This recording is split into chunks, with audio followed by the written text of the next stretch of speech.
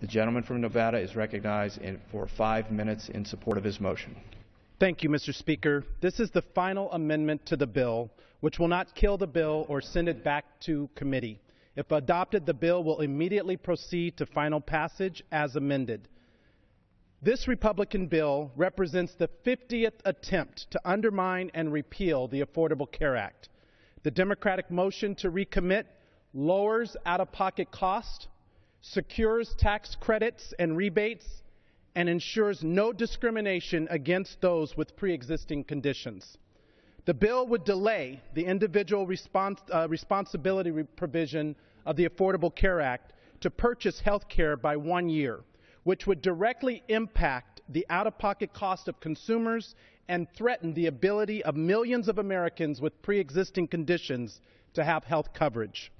The nonpartisan CBO estimates, estimates, that enactment of the Republican H.R. 4118 would increase the number of uninsured by 1 million in 2014, 2 million in 2015, and 1 million in 2016.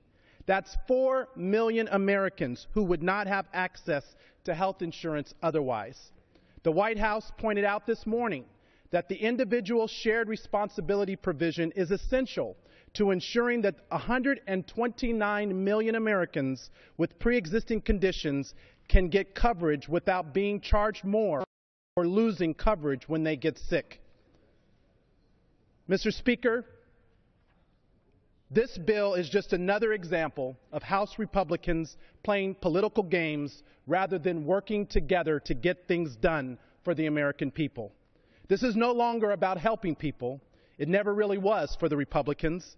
These repeal votes are about ideological purity. They're about politics for the sake of politics.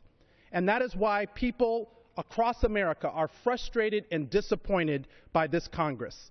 Because this chamber has become a bubble, and Republicans have stopped listening and stopped working on anything productive.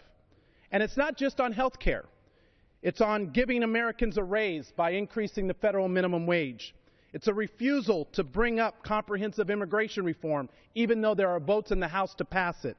It's on unemployment insurance and the failure of this Congress to extend benefits to now more than 2 million Americans who've lost coverage. It's about creating jobs and helping to improve and grow our infrastructure.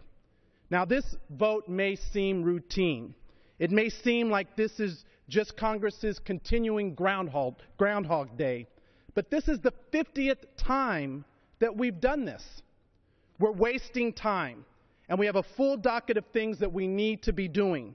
This vote is a symptom of something very wrong in Washington, and it's time to wake up and do something more than play Tea Party politics in this House. The bill offered by my colleagues on the other side would increase out of pocket cost to American consumers. It would increase health premiums and the number of uninsured Americans, and it hurts those with pre existing conditions.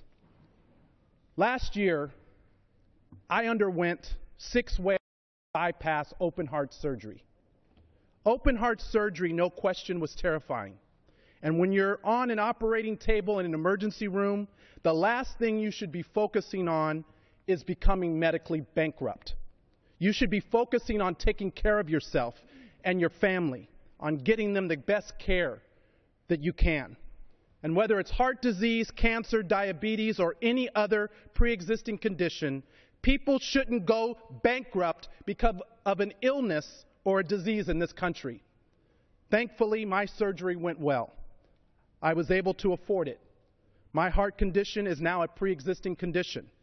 And there are thousands of my constituents who are in the same or worse boat, but are not financially well off.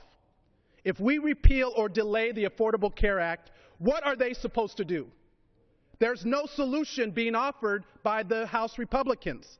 It's not repeal and replace, it's repeal and return to a broken health care system. That's it. That's the Republicans' plan.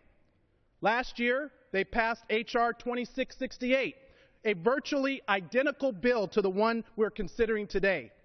They've run out of ways to repeal this law, so now we're stuck on repeat. We should instead be focusing on renewing unemployment insurance benefits for 2 million struggling Americans, passing comprehensive immigration reform so that we can fix the system that's uh, got families torn apart, and giving 30 million Americans a raise. My motion to recommit would protect three of the most important provisions of the Affordable Care Act that are overwhelmingly supported by the American people lower out of pocket costs for consumers tax credits and rebates to purchase health care, and ensuring that no one in America can be denied due to a pre-existing condition in America. Gentleman's it's time for expired. this Congress to wake up and do the right thing and protect Americans and their health care. Gentleman, time's expired.